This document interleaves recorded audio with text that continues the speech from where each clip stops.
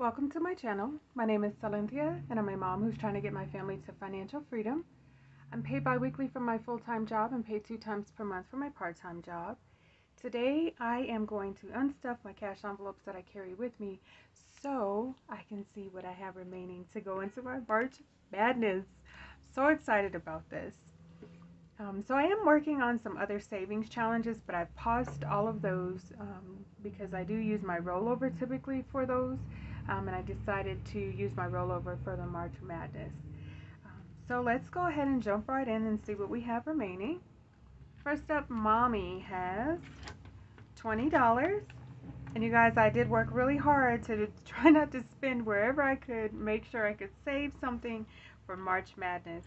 So gas is um, has $10 remaining. Groceries has $25. Next up is household, which has nothing miscellaneous, has the $10 that we started with, um, and nothing left in personal. So let me just count up and see what I have left over here. What is going into March Madness, you're asking me? 20 40 50 55 60 65 dollars going into my march madness. I'm not going to count it um, today but at the end of the month i will for sure count it and let you know how everything went for this what i'm actually taking to the casino um, when i go with my mom at the end of the month. So march madness 65 bucks today. Pretty excited about it. So let's go ahead and stuff my envelopes in these are binder dividers, not binder, dividers.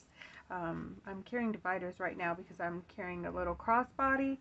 But let's go ahead and see what we're putting into my dividers and my cash envelopes uh, for my cash expenses. So I have 100, 20, 40, 60, 70, 80, 90, 200, 5, 10, 15, 16, 17, 18, 19, 20. Okay, so $220 are going into my um, cash expenses and um, let's go ahead and jump right in with mommy is getting $30. So we have 20, 30. Gas is getting $20. And gas has gone up, so um, I pushed it to the limit by trying to hang on to that $10 um, this past week. So Groceries getting $100. Household getting $10. And miscellaneous getting $10. Personal $10. Perfect. So that's it for my dividers that I'm carrying with me. And this is the little binder that I have my cash expenses in right now. Um, so we'll go ahead and get started with uh, my kiddo's allowance, which is getting $10. we have five, six, seven, eight, nine, ten dollars. And I'd like to get this in all ones, but I'm struggling to get the denominations that I need. Um, so next up is beauty, which is getting $10, and health is getting $10, but I was not able to get my hands on uh, the denominations I needed. So I'm just going to put a 20 in beauty and then I will make sure when I get the change to put it in health. Alright, and next up um, is pets, which is getting $10. So my kiddos were saving their money. They were holding on tight for dear life and then they decided they would um, buy something. We went to Walmart. So they're a little low. They still have something in there, but they're a little low. Um, so they've got to work hard to build that back up. Um, so they did overhear a conversation about Disneyland. So they're asking, can we go for their birthday? So I'm trying to sort through and figure out my finances as far as the stimulus is concerned, tax return, whatever, because um, I have some really big savings goals. Um, I know that I'm paying off um, one of one of my credit cards and then a couple of other debts.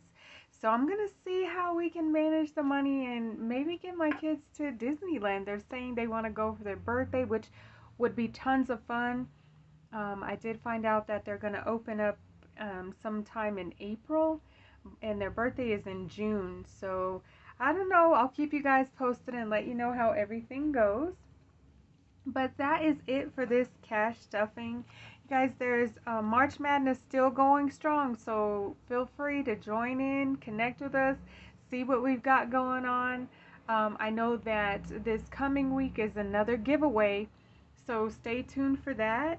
And please like, share, comment, and subscribe. All of those things that can keep us connected, you guys. I thank you so much for all of your support and love, and I'll see you in my next video. Bye, guys.